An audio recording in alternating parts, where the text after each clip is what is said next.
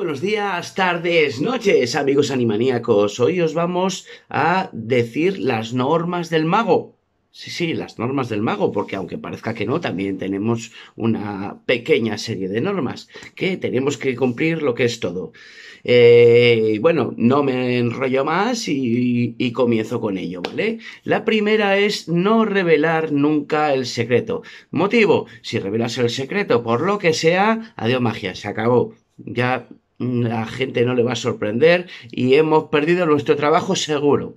Bueno, eh, siguiente, la segunda, nunca digas lo que vas a hacer a continuación. Motivo, porque yo, por ejemplo, digo, oye, que voy a hacer desaparecer esto, mira, ya, cojo, lo meto aquí, ya ha desaparecido. Eh, ¿Qué sentido tiene? La verdad, si ya sé lo que va a pasar, se acabó. También lo puedes hacer aparecer, o sea, no, no digas lo que, lo que vas a hacer a continuación. Eh, tercera norma, nunca reveles, eh, no, perdón, eh, no repitas los juegos, ¿vale? Porque entonces se revelará todo lo que, lo que no se debe ver. Si, por ejemplo, hago desaparecer lo que es el caramelo este, ¿vale? Lo vuelvo a hacer desaparecer. En cierto momento se ve ¿vale? Cuanto más lo repitas, más posibilidades tengas de que te pillen. Eh, la cuarta, no repitas técnicas. Por lo mismo. O sea, si te pones a hacer un, un barajeo, un corte falso, un, cualquier cosa, eh, si lo haces varias veces, es lo mismo que, que el anterior estás repitiendo. Entonces, se te puede pillar. Eh, la quinta, sé tú mismo. ¿Por qué? Ah, o, curras muy bien y eres un buen actor para estar encima de un escenario o delante de la gente y siempre mantienes ese, ese nivel de actor y cuando bajes bueno, eres una persona normal, o si no, sé tú mismo, porque el intentar ser otra persona, el ah, aquí estoy yo, no sé qué, no, eso no funciona y aparte la gente lo va a percibir en todo momento de que no eres tú, ¿vale? El sexto, sé lo más natural posible. Motivo, eh, tanto con las personas como con haciendo juegos. O sea, si voy a hacer desaparecer, yo que sé, estoy con los caramelitos hoy. Voy a hacer desaparecer el caramelo y luego tengo que coger este así y cojo, lo hago desaparecer y hago, a ver, movimientos extraños que no son naturales. O sea, me refiero, a, yo no lo voy a coger así de este lado. A ver, esto no es natural.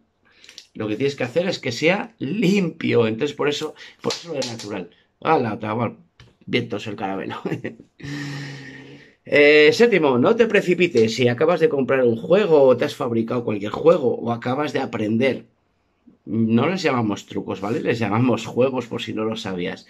Y acabas de aprender un juego, no tengas prisa, en serio, no tengas prisa de sacarlo, a decir, mira lo que sé hacer, porque no sé qué. A ver, todo lleva un proceso y todo lleva eh, una, un ensayo. Eh, en un día es prácticamente, eh, no, no te voy a decir imposible, pero que te salga bien del todo, del todo, del todo y de una forma limpia es bastante complicado. Vamos a ponerlo en complicado. Normalmente cada juego, nosotros los magos, eh, llevan meses e incluso años de preparación. ¿Vale? Tienes que tener el juego, la historia, si quieres meter eh, música, la música, que tiene que ser todo preciso. Y también entrenar y ensayar al fallo, a lo que me refiero. Si yo, por ejemplo, eh, voy a hacer desaparecer esto, me lo está viendo cualquiera y dice, es que te lo he visto. A ver, tienes que saber cómo salir cómo salir de ahí, porque es que mm, si no sabes salir de ese tipo de situaciones, estás vendido. Entonces, claro, tienes que ensayar al fallo. Si por lo que sea, coge, lo metes aquí, se ve que se ha caído por debajo. Sí, se te ve que se te ha caído por debajo. Ah, en serio, nadie conoce tu espectáculo.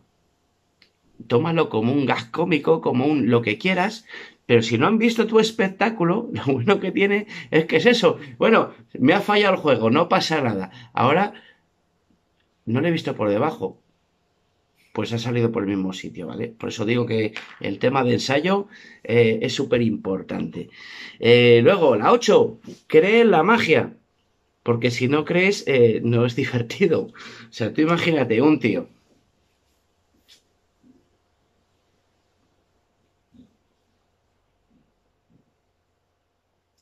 ¿Qué aplausos te esperas? Lo lógico es que te sorprendas cada vez que lo haces. O sea, yo cojo, llego, hago aquí. ¡Hala! Es distinta la reacción. La reacción del público, según estés tú, tu estado de ánimo, tu energía, eh, el creer realmente en la magia, decir, soy la leche, acabo de hacer desaparecer o, acabo de, yo qué sé, de dar vueltas a una caja mm, o levitar. Oye, tío, si te lo crees tú, el, resto del público se lo cree. Esto es eh, por envidia, como lo digo yo.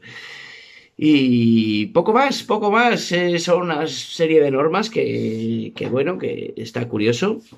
Eh, ahora un consejito propio, que lo, lo, pondría como la 9. no te creas más que nadie, ¿vale? Arriba eres un actor, no eres otra cosa eres una persona que, que tiene cierto tipo de habilidades, que has ensayado mucho, que has estudiado mogollón, porque para ser mago hay que estudiar un montón, y, creerte más que los demás eh, no te lleva a ningún, a ningún sitio. Al contrario, simplemente te llevan a decir, oye, mira, te contrato porque eres bueno, pero en cuanto pueda me voy a deshacer de ti. Y de hecho esto lo, he visto, lo he visto en muchísima gente. Y poco más que deciros. Espero que apliquéis todas estas cosas, que sigáis siendo naturales, que os mole mucho la magia y que disfrutéis con el curso. Venga chicos, hasta luego.